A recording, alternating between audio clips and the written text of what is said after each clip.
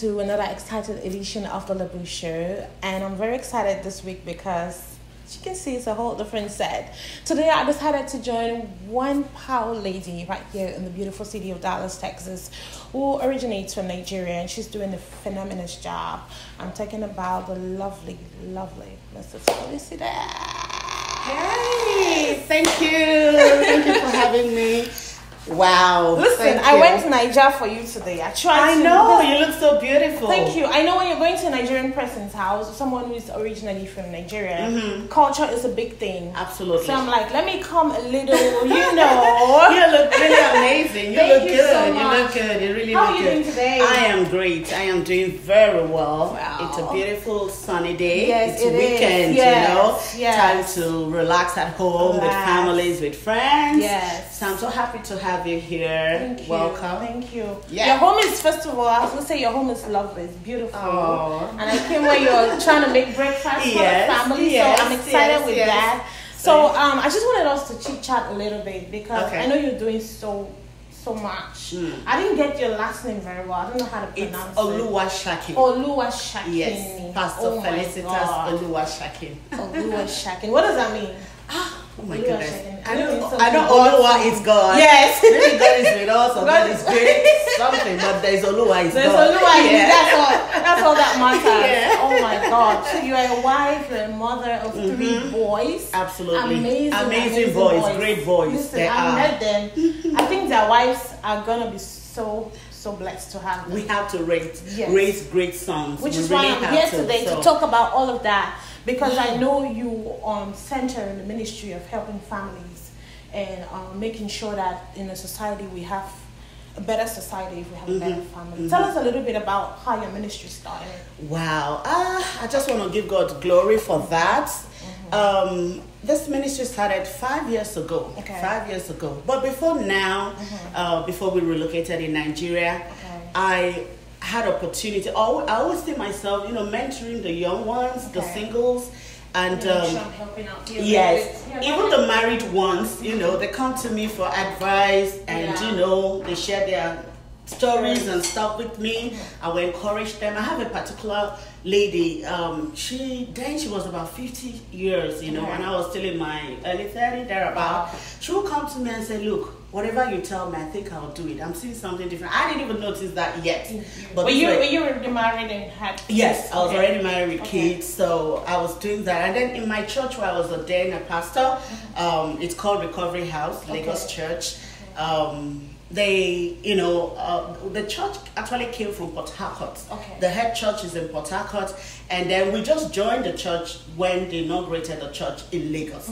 So I didn't understand the concept, I would say, of the church Right, initially right. because um, from the name you see, it's not a regular church Right, like it's not a Redeem or name, yeah. right, so but we love the church. We wanted to be where the word of God is preached, Right. where we pray and praise God. You know, Right. the atmosphere was just beautiful. And the man of God, the second man of God, Reverend Gochuku Nachuku, is a great man. Is is is I mean, he's a prophet of our time. From his name, I can tell. Yes. Yes. God going on Yes. name. So when I when I joined the when we joined the church and after uh, because it was a new church, Right. so they were actually then I wasn't a pastor. I just Okay. you know I've always been a church girl. Yes. You know, go to church, born again early. Let me tell you, I started preaching at the age of ten years when I was ten. Yes.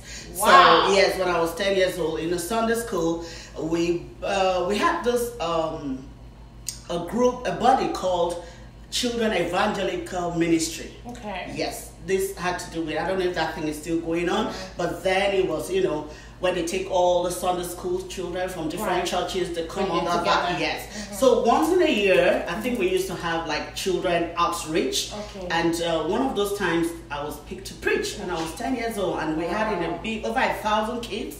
So, and you know, that has been it. I've always been, you know, doing things, going on evangelism, preaching, Right. sharing the word of God and all that.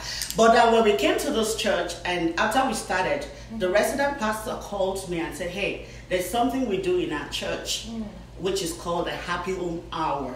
So this is just a segment. They allow someone to come up and talk because the church is more of a family church. Yes. So they allow someone to come up and just say anything relating to marriage, to relationship, to families, you know, just to see how to enhance homes and marriages for people to enjoy and all that. Right. And that was totally new to me because I've never seen it. Even the church I used to go before I got married and joined my husband, Yeah. we never had that kind of thing. So I was telling him, why did you pick Why me? you choosing You me know, among he said he prayed about it, it was me. I said, You don't know me, I've never been to your church before, I don't know. But anyway, long story cut short. So he said, Go ahead and pray about it, and God will direct you. If indeed God wants you to do it. And that was how I started.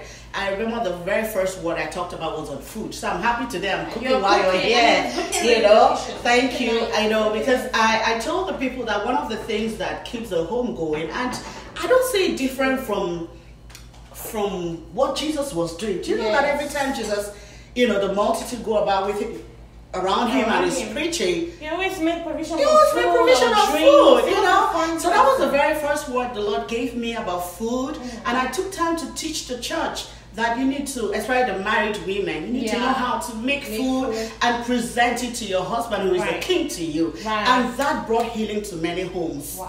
And it's been like that. Everything Then, uh, 2012, the Lord relocated us to America. Honestly, I never wanted to come.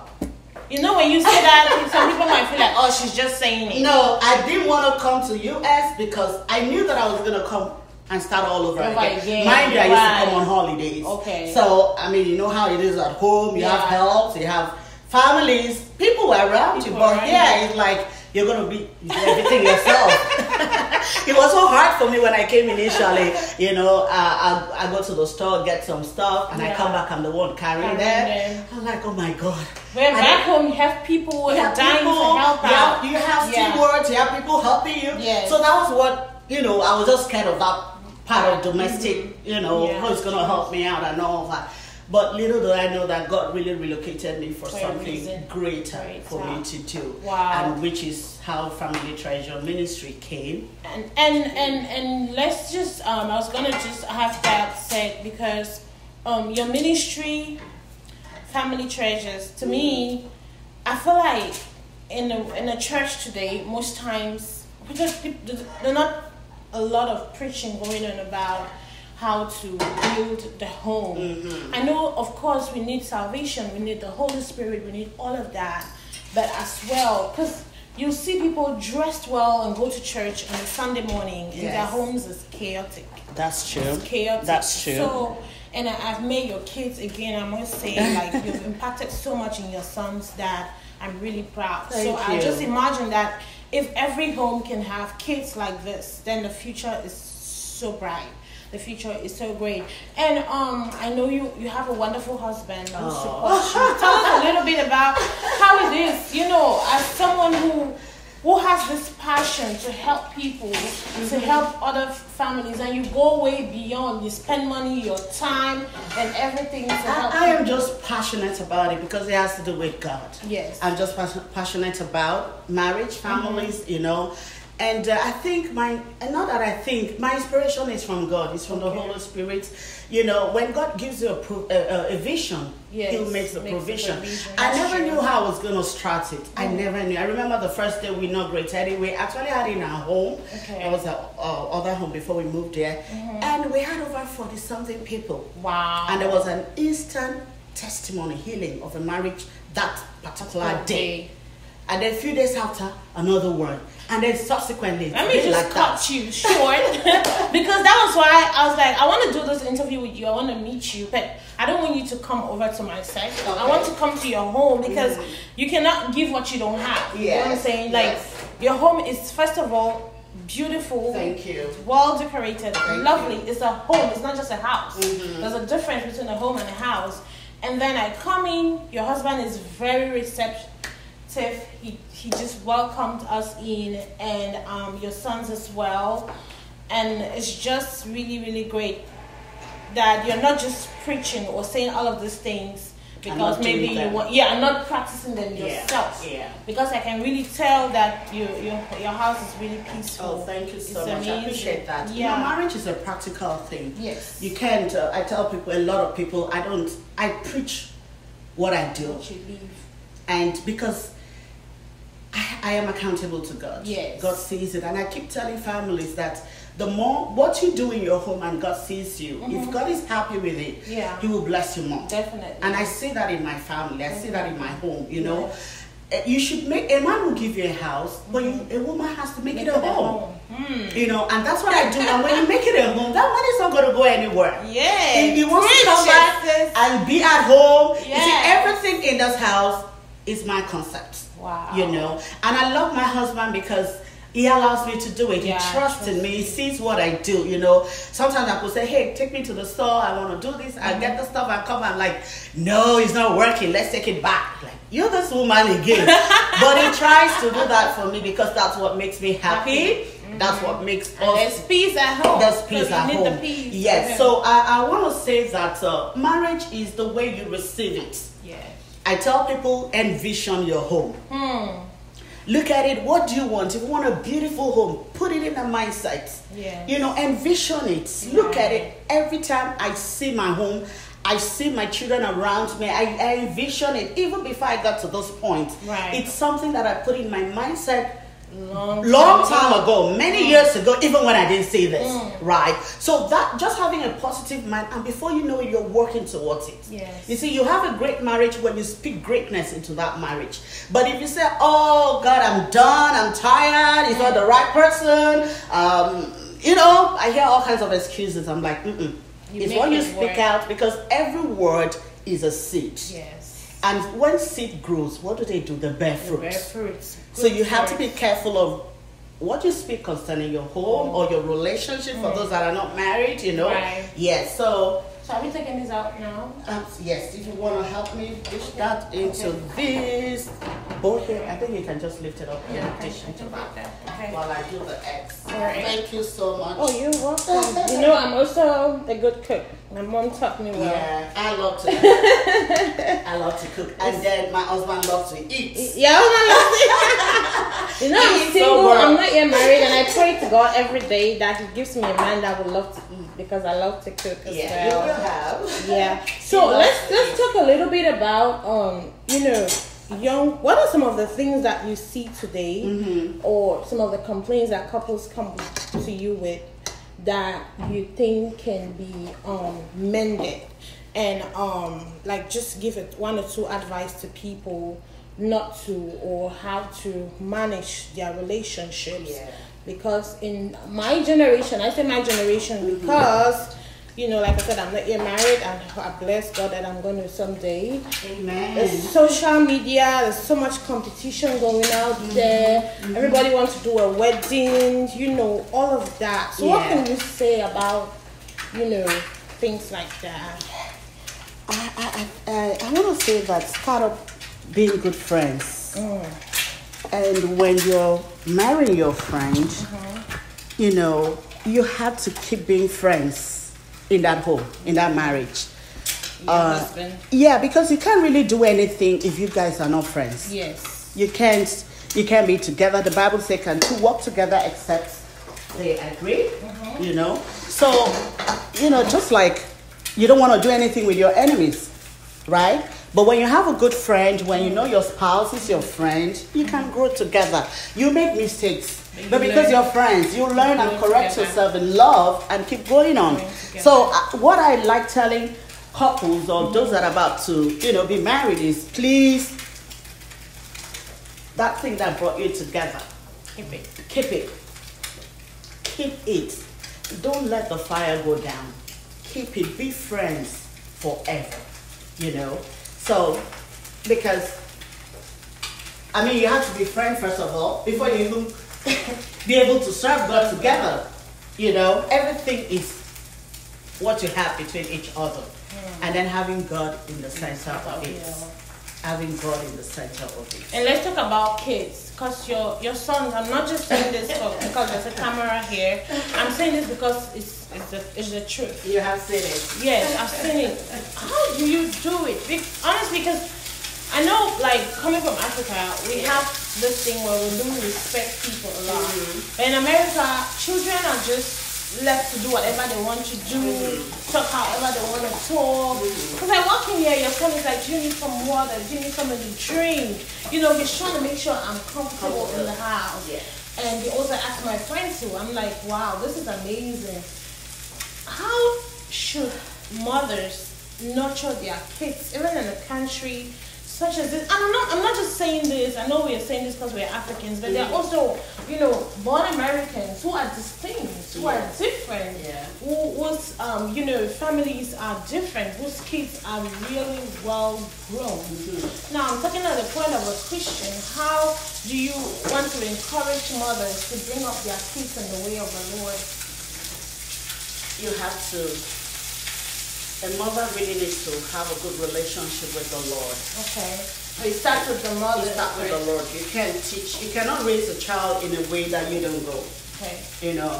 So and then you have to live a life that those kids are seen you. Because kids really is the picture they see that gets in faster, and that stays with them longer. Longer.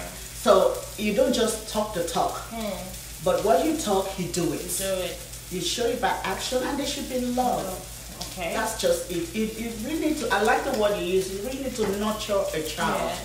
When you when you're nurturing something, you do it with care. Hmm. You do it with attention. You do Right. it with love. Hmm. So that's how I raise my kids. I nurture them. It's not as if I don't, you know. scold at them when they're Yeah, I do, but I let them know this is why I'm doing this. Yeah. And I'm so much involved in my children, especially with the education, whatever they You do. You know, I won't give excuses of my work or my time or I'm tired or, you know, some will say you're a big boy, you're this, you're that. no, I we talk, we gist. I'll tell my son, come on, Jeez, tell I me. like that word. That's a good. That's a word that You will know? make you know you're friends with your kids. Yeah, I said, come on, give me some gist. What's going on in your school? What's going on around, you know? Mm-hmm. So we talk. You know, I get so much involved and I tell them things about me as well. Yeah. And then we play at home. Wow. You know, we are very open. I I mean, when the boys start, I feel sometimes I feel jealous because I'm the only queen in the house here. you know, even the little ones, you know, Yeah. they run around and they scream and they're like, you know, dad, dad. Everybody is like, and I'm just thankful to God. You know, uh, we- we want to go. Do you ever get worried because you don't have a, a girl child? I feel sometimes I feel because I have so much in me That I really want to teach. Yes, I really have so much. You know, right now I'm even thinking I'm I'm nursing it and I'm praying about it. I I want to have. I'll take it outside. I want to use my. I have a beautiful ear, Yeah, so I want to use it. Maybe once in a Saturday, or you know, just have one-on-one mentorship. It could be in mm-hmm. cooking, it could be in setting. I do etiquette as well. Okay. You know, with young ones, how do you do it when you go out there? A lot of women are just behind. That's why Yes. most men don't take their wives out. Right. Because their dressing is wrong, their social No, so they, know how to use silverware, Yeah, cutlery, yeah, they know how to yeah. sit, they know how to dress for what occasion, all of that. Absolutely. So I want to do that. I just love impacting my generation. I just love, you know. Wow. I mean, what you're doing is amazing. Yeah. I've learned from you just a little time that I've known you, and also being here today. This is how a house should be. Thank you. This is how, and I can tell you it's not just because the- camera was coming here today. This is how your house is. I can tell. There's a difference when a house is just been cleaned that same Oh. morning. You can you know, I went somewhere to preach. I was in, um, I think it was in um, Atlanta somewhere. Um, and when they were introducing me, honestly, I didn't know it was me they were introducing. Oh my God, there's just so many things. Know, And just so many things. And then the, the woman, you know, because she just started. I mean, I didn't. I knew I was a guest speaker, but I thought they were talking. They're going to bring somebody somebody else. And she said, "Oh, this woman, when you go to her home, you could see your face Oh, on wow. our floor." oh, I said that was that was the height And you saying, oh wow, what a woman. You didn't know did it not was call my name. I'm like, That's oh, so funny. people look at it. Yeah, you people know, look at we it. just moved to this home like uh, late last year, but when we lived before, it was all white. I love white. Yeah, and. I'm so particular about my cleaning. Yes. You know, I'm so particular about my cleaning. Mm-hmm. If I come home and I've trained my kids, if I come home and um, maybe the throw pillows are the other way around or Mm. something, that gets me off. You know, so I tell them no matter how many times you go through that, whatever sure you see, keep it keep it the well. way it was. Because number one, God is a God of order. Order. So when we learn to do things, it will help you not just in the home. Yes. It will help you outside. Even where I work, a lot of people are like, "Oh my God, you're so mature. How old are you?" And, uh, My boss has come to ask me, "How old are you?" I'm like, "Really?" It has nothing to do with the age. The age, You know? that's it, that's so, true. Yeah. Yeah, and especially in this um this generation, I go to I go online. I love Instagram a lot because it really inspires me. I see a lot of greatness, great minds, young people doing so many things. You know, creativity is just on you know it's on another level. Yeah. Anyways, um, we're almost almost rounding up here. Almost. Wow, that is Food is almost so ready, good. so we all have to eat something. The cameraman must eat today. Cameraman is so serious. When it's work, it's work. He's I like, know. no jokes. Anyways, so let's just um round up a, li- um real A little bit. here. Okay. So um the last thing I just wanted to to to find out from you is what would you say to someone who is um struggling in in their marriage, In their marriage. or in in their relationship and they are almost giving up because they don't know what to do. They don't know where to go. And um they don't know how to pray. Mm. they don't know how to pray about it.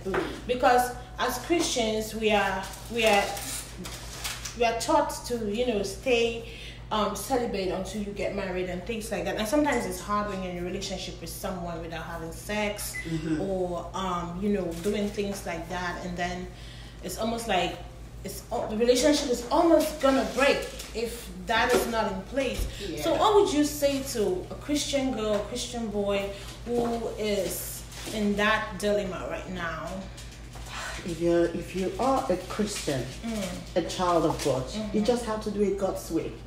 There's no, there's shortcut. there's no shortcut There's no shortcut. there is no shortcut to it. You just have It's to do it that way. God's way. God's so way. that God can reward you. The Bible says that he that diligently seek after him, he honors that person, he rewards that person.